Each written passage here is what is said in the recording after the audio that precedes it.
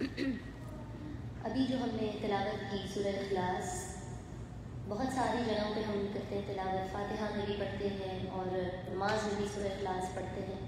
بہرحال ہماری زندگی کی روٹین میں ہے نا یہ سورہ؟ اس میں اس کی تزمین یا اس کا منظوم ترجمہ پیش کروں گی حملیہ کلام کی صورت میں۔ تو سب لوگ اللہ کے ذکر میں باغاز غلط شامل ہو جائیے گا۔ اور سب نے مل کر میرے ساتھ صرف پہلی آیت پڑھنی ہے۔ کیا پڑھنی ہے؟ تھینک یو جزاکم اللہ کیا پڑھنی؟ ہے قل هو اللہ احد. سب مل کر پڑھیں گے انشاءاللہ. قل هو اللہ احد. قل هو اللہ احد. قل هو اللہ احد. مدد اللہ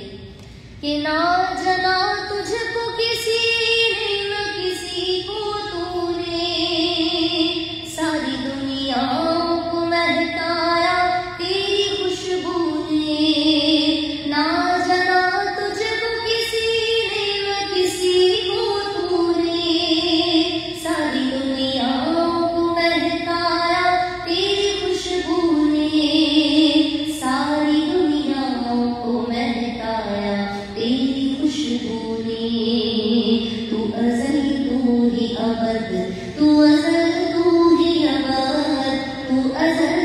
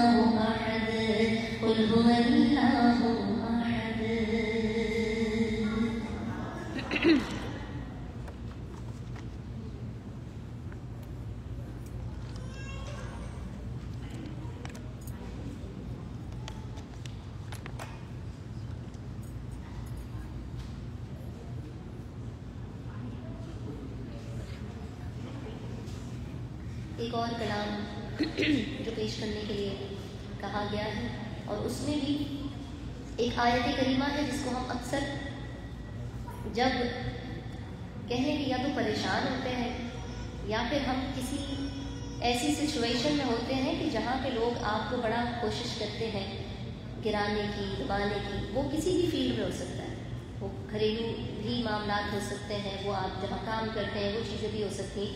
ہر کسی کی لائف میں ایسی سچویشن کہیں نہ کہیں ضرور کریٹ ہوئی بھی ہوتی ہے۔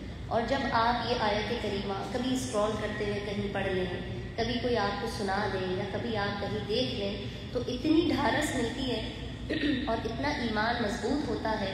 اس آیت کا منظوم ترجمہ اس کلام میں بیان کیا ہے۔ جی۔ ایکو مجھے بٹن بتا دیں، کیونکہ جب میں بولتی ہوں تو اس کو کم کرنا پڑتا ہے اور جب وہ کہتے ہیں کہ یلو بٹن ہے there is nothing yellow orange یا this one hello hello hello okay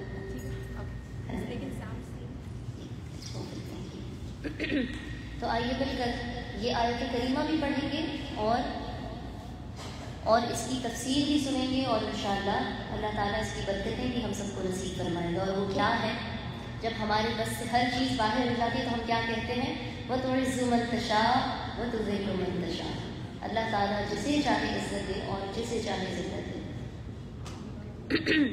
کہ نادان کو اس بات کا۔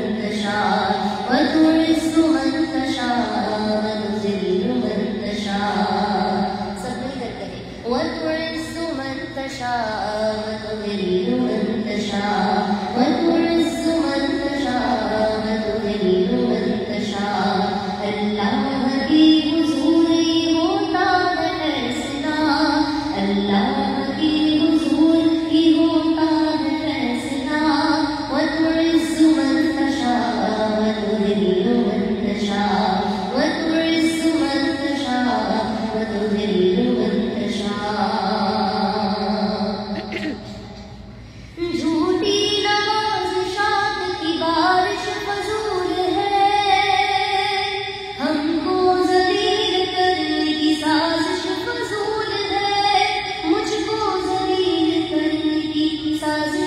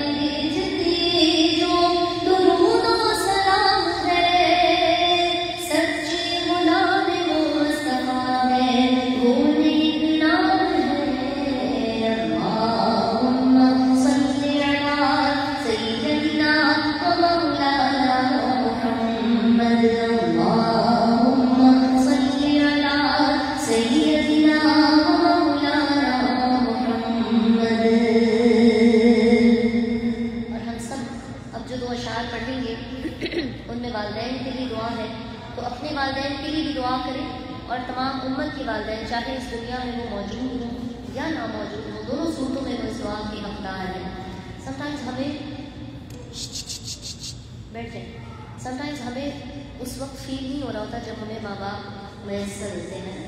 ہم بار بار کہتے ہوئے ہم اپنی بات نہیں کریں بہت سارے ہمارے ایسے ینگسٹرز ہیں جو کہتے ہیں آپ کو کیا پتا؟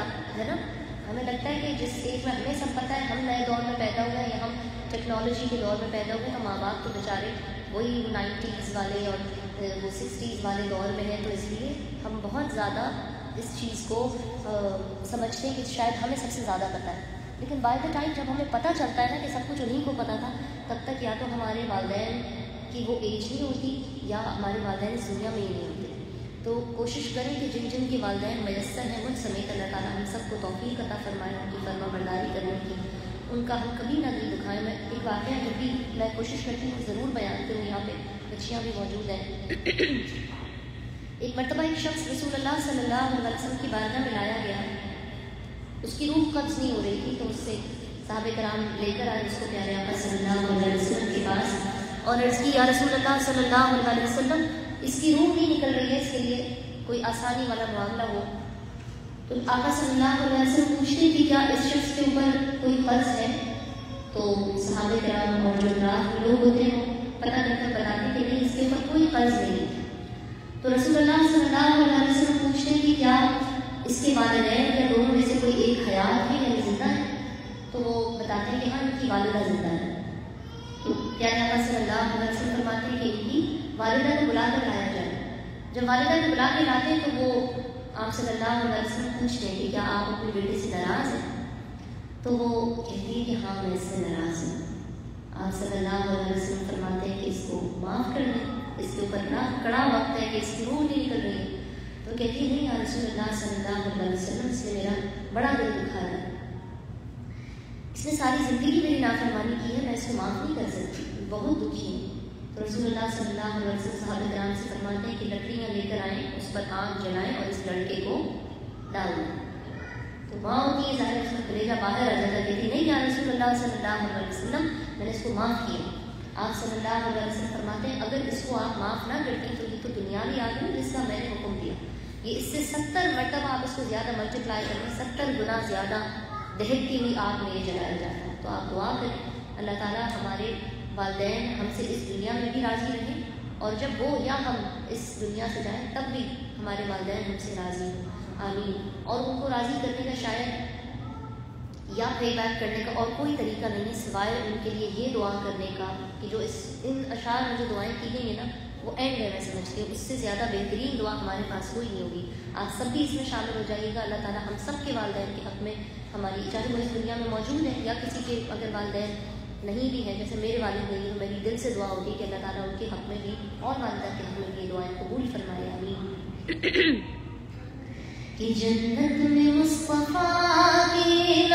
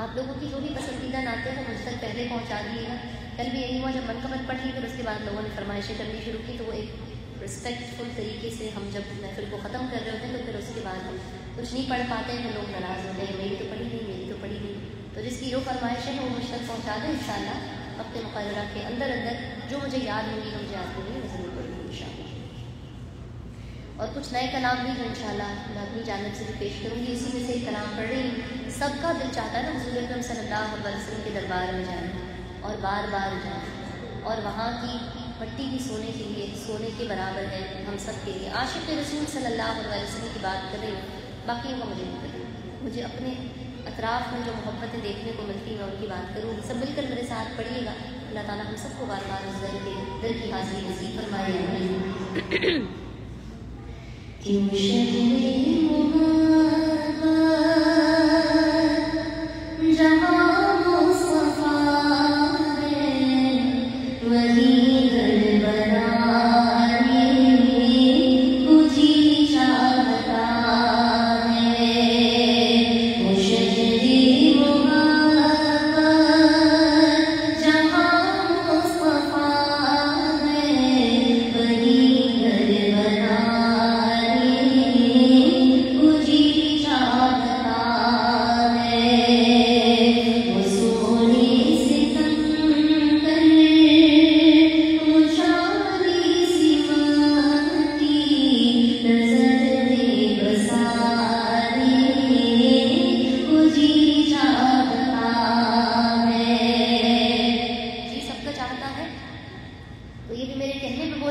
پہ بولیں گے اپنی مرضی سے بولیں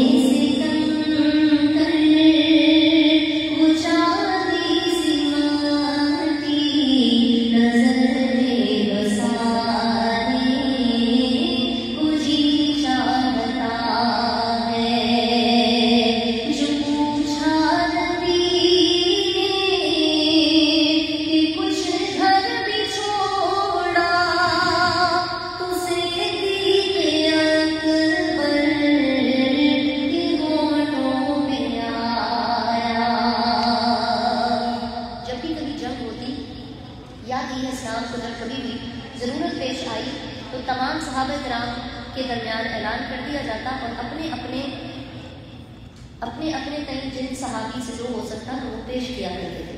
تو ایک مرتبہ رسول اللہ صلی اللہ علیہ وسلم نے جب اعلان فرمایا تو تمام صحابہ جو بھی جمع کر سکتے تھے اپنے اپنے طور پہ انہوں نے اپنے اپنے گھروں سے پیش کیا۔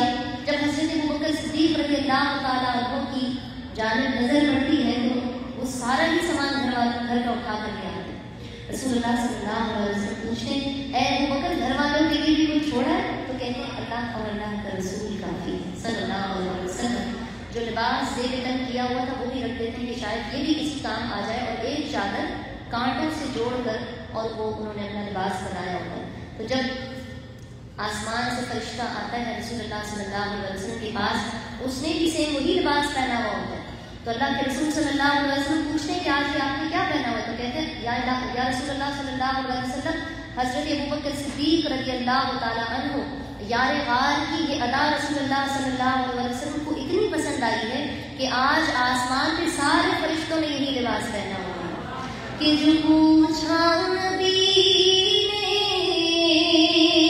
کہ کچھ